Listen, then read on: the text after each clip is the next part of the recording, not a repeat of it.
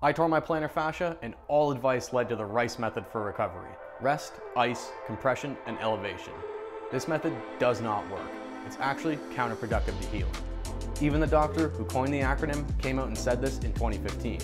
From restricting blood and oxygen flow to the area and reducing the essential first step in the body's recovery response, inflammation, not moving the inflammation waste out of the area, it's hard to believe it's still prescribed as the gold standard for injury recovery. By moving and gradually strengthening my foot right away, I went from not being able to bear any weight on my foot to running again in three weeks.